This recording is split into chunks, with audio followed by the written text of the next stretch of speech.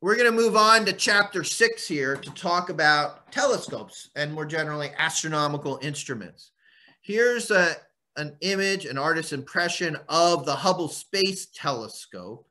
It's got solar panels to keep it going. It's been running for more than 25 years now. Um, it's still doing great work. It's outlived its hardware expectation. Now, the telescope was invented in 1608 and it was first used by Galileo Galilei just over 400 years ago in 1609 to do astronomical observations. He observed the phases of Venus. He looked at the moons around Jupiter. Um, he looked at the craters on our own moon and so on. And he published his results in this dialogue concerning the two chief world systems in which he presented the evidence for an earth centered, not a sun centered model of the universe. The Roman Catholic Church didn't take kindly to the book, and they basically put him on house arrest uh, until he passed away. Now, one advantage of modern telescopes is that they are not limited to just visible light. Here are different images of the Orion constellation in the visible on the left, in X-ray in the middle, and the infrared on the right. And uh, yeah, they look quite different from one another. And we are able to learn different things by looking at the sky in different wavelengths. Now, in general, bigger telescopes are better because of two reasons. One, the bigger the telescope is, at least in terms of its aperture size. It's not as important how long the telescope is. What's really important is how big it is in diameter, because that tells you a couple things. Firstly, how much light can it collect? The broader the aperture, the more light that you can get. And therefore, the more details you can tease out in whatever it is that you're looking at. The second thing, and this also gets better as you have broader apertures, is what's called angular resolution. Think of that as being how blurry an image is. I could have two telescopes that were equally large, but maybe one, you know, um, was made by the best lens crafters in the uh, planet. And the other was just, you know, some cheap plastic that somebody cut and, you know, not really that good. They're both really big, but one's going to give you a blurry image because the lenses aren't cut nicely, etc. And the other could give you a nice sharp image. One has a good angular resolution and one has a poor angular resolution. So you can think of angular resolution as being a measure of how blurry or sharp an image is. So to um, talk about the basic kinds of telescope designs, there are two main types. There are refracting telescopes and there are reflecting telescopes. So a refractor, like the one on the left there, is built around lenses. Lenses refract light. That refraction is the fancy term for the bending of light as it goes from one medium, say the air, into another medium, say a lens. I've got a couple lenses here for us, right?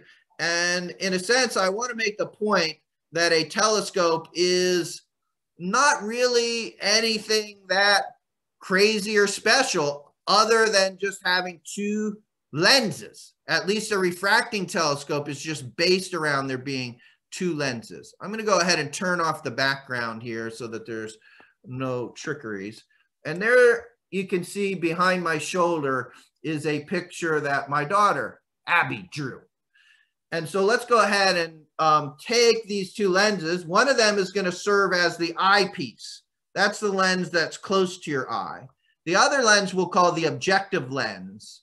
And what happens is the light comes through the objective, it gets bent, it comes through the eyepiece, it gets rebent, and you end up basically seeing a magnified image. Also note it'll be upside down. So let's see if I can do this here. I'll put the eyepiece in front of the webcam and let me try to hold that still. And oh, oh, I need to line this up.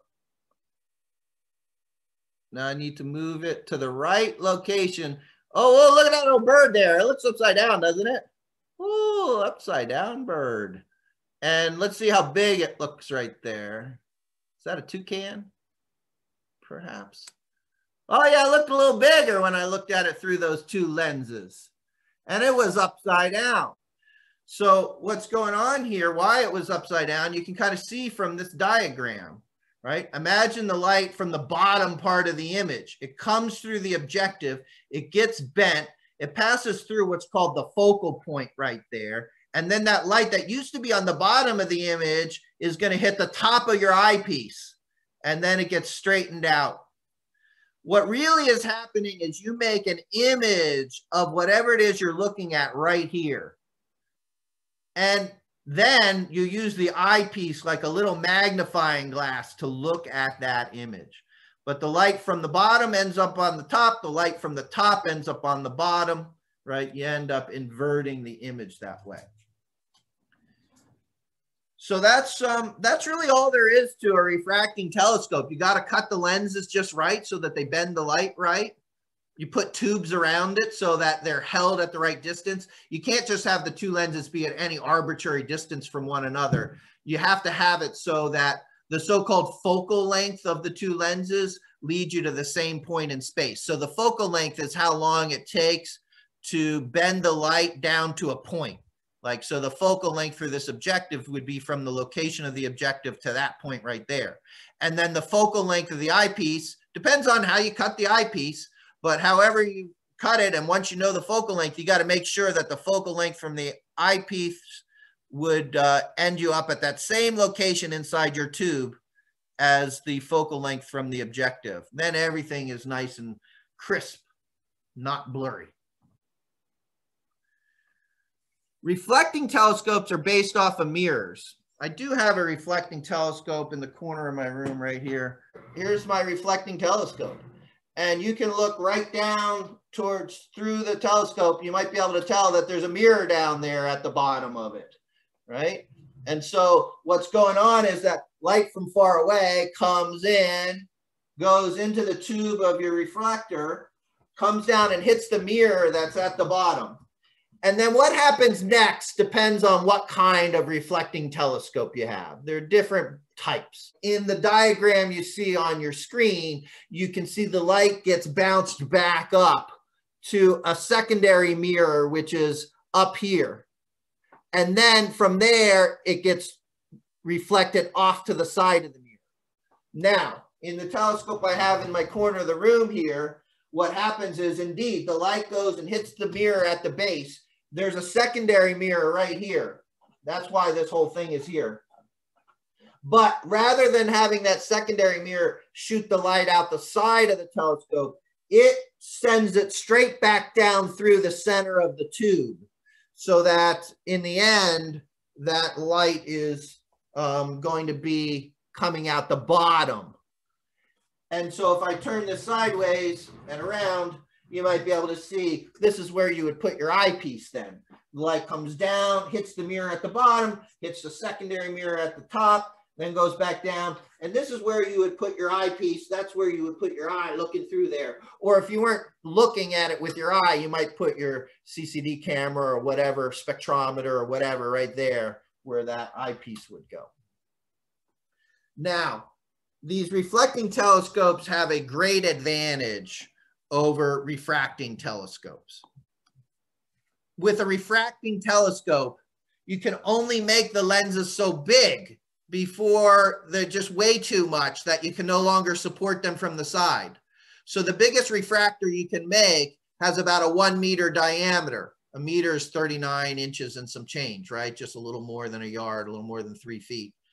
And so you can make, if you tried to make it bigger than that, the lens is so heavy, you cannot support it just from the outside. Now with refracting telescopes, reflecting telescopes, you can support the mirror from underneath. And so you can make the mirrors much, much bigger than you could make a lens. And so that is basically why you have um, an advantage with reflecting telescopes. The other reason that reflecting telescopes are going to give you a big advantage is because you can do what's called adaptive optics. And I'll mention that a few slides from now. But what we're looking at here is uh, one of the Keck telescopes. This is 10 meters across. So it would have 10 squared or 100 times the light gathering area of a one meter telescope because you make it both 10 times broader this way and this way. So it's 100 times more light that it could gather. And you might say, oh, well, man, look at all these. Got arms and a secondary mirror that blocks some of the light and so on. Doesn't that matter? Yeah, it matters a little bit, but that secondary mirror is only blocking some of the light. And it's not like you're going to have an image with part of it missing because you're able to see all everything that you're looking at. You might wonder, man, this secondary mirror on that reflecting telescope, why doesn't it block my view? Well, it's kind of like, you know, as long as you're getting light from the object somewhere against your mirror and you're focused in on that far away object and not on the secondary mirror, it doesn't obscure your view. It just allows you to collect slightly less light. You know, if I'm looking through the tree branches out at the mountain, right? And um, if I bob my head to the left and right and up and down, eventually I can see all the different parts of the mountain, even though those tree branches were in the way, because I'm looking over a large enough area that those tree branches just don't matter anymore. I can get light from at least somewhere. So if you imagine you have this big aperture collecting light, things in the foreground, you can, in a sense, see right by them. As long as light can make it by those things in the foreground from some and hit some part of your aperture. So, all right, this 10 meter telescope, if you look carefully, is broken up into little segments. You see how there are little hexagonal segments down at the bottom there? And that makes it easier for you if, you know, your mirror cracks or something, you don't have to replace the whole mirror. You just replace the one little segment. Now that, that, that's convenient as well. So the largest telescopes currently have diameters of about 10 meters. There are plans to build larger ones, like the extremely large telescope. Here's the four meter and eight meter telescopes in Chile. Um, it's good to put these kind of telescopes in areas that are high and dry. Why dry? You don't want clouds, obviously. Why high? Well, that's atmospheric absorption of light. And so places like um, the Atacama Desert in Chile, mountaintop ranges in Hawaii, these are kind of ideal places to put telescopes. Now, I mentioned angular resolution before. I want to return to that and talk a little bit about it. In this interactive figure, I see that there's some light source off in the distance. And at this point, I don't know what it is. I don't know if it's a motorcycle uh, with one headlight. I don't know if it's a car with two headlights, something else. Let's go ahead and, you know, let this play out. It gets closer and closer. And eventually I realize, oh, that's two headlights. You know, before those headlights were close enough together that I wasn't able to tell there was two things. But now once they have a big enough angular separation between the two, um, I can tell there's two headlights. So angular resolution is is going to give you, um, a, you know, smaller angular resolutions is better. It gives you an idea of how blurry some object's going to appear. So right now, let's say you have some crappy telescope with poor angular resolution that you're using to look at this binary star system. Those two stars may just look as one star. Their light is blurred together because you've got bad angular resolution.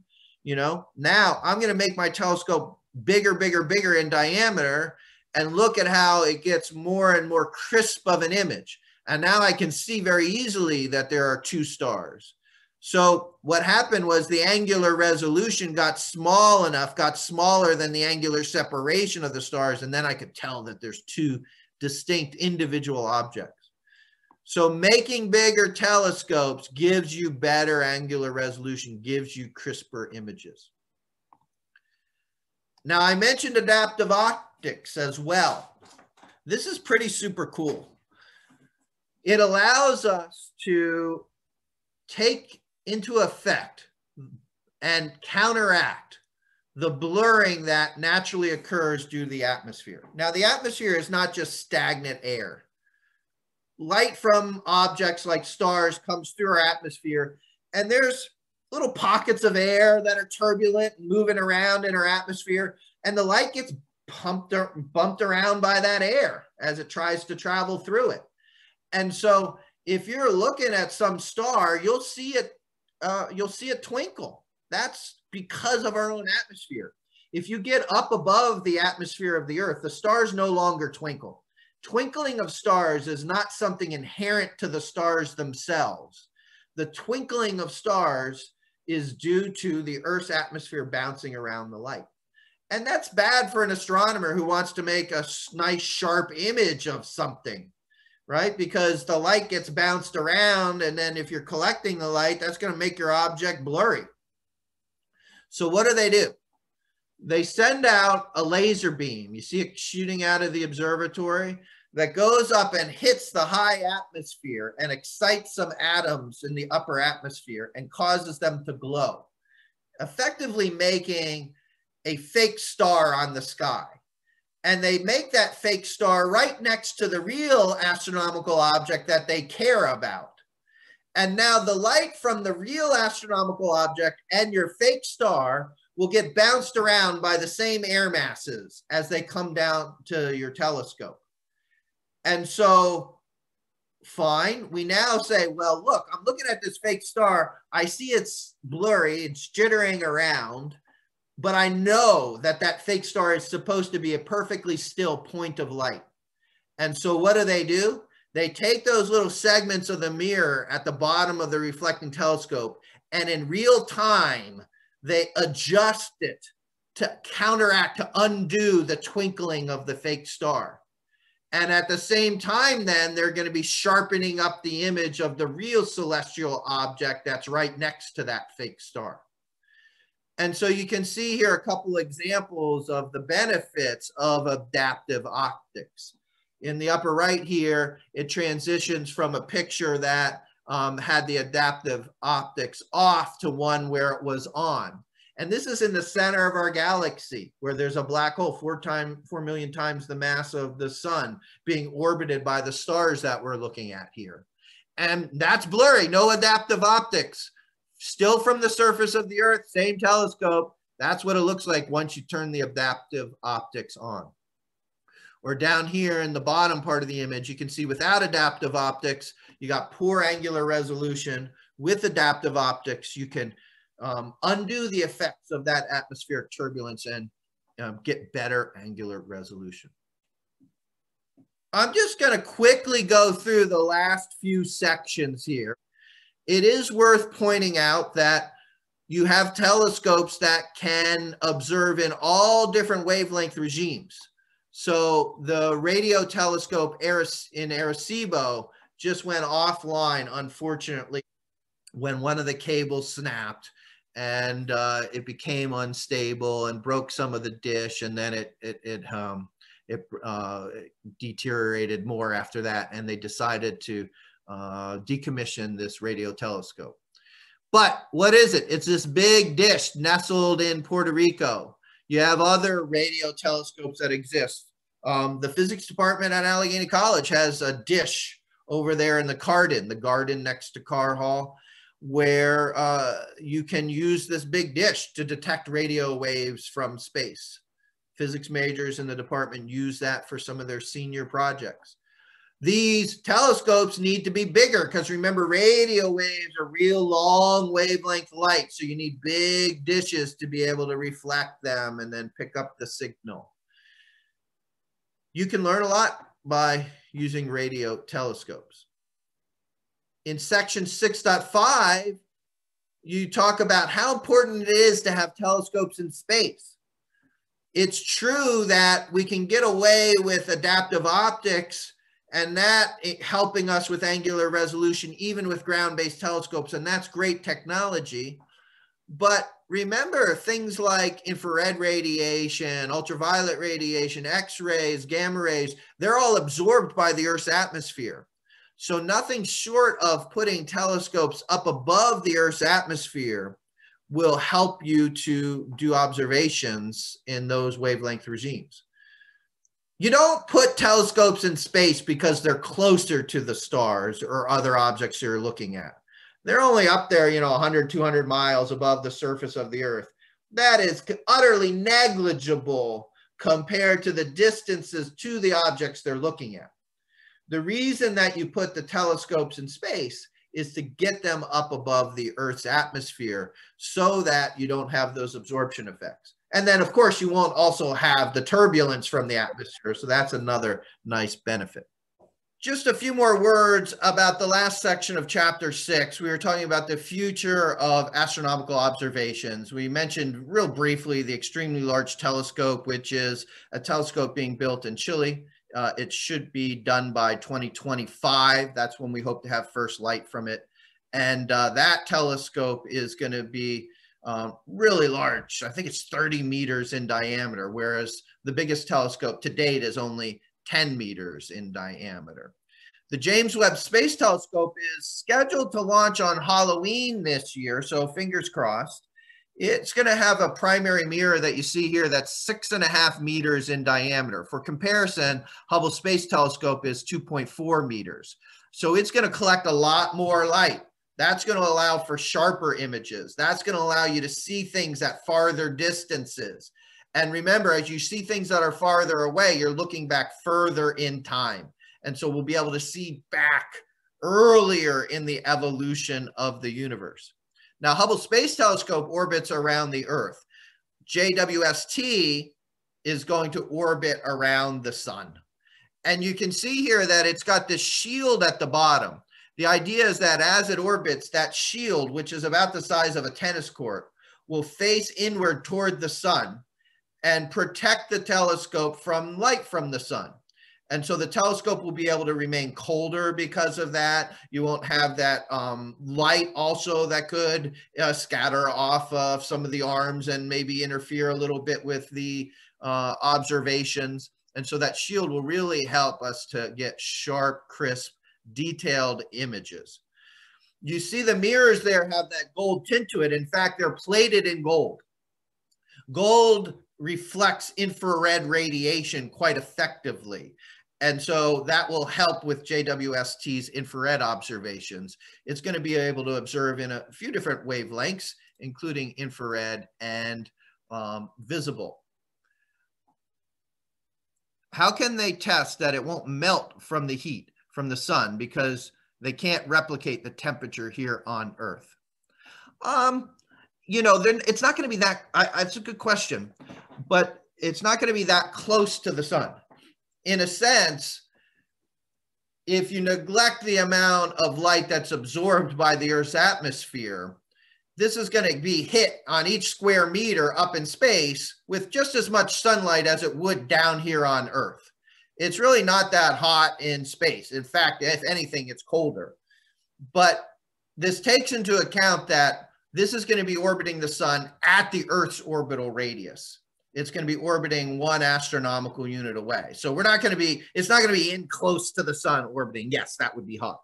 It's going to be nice and far out away where the flux of sunlight is the same as it is here on Earth.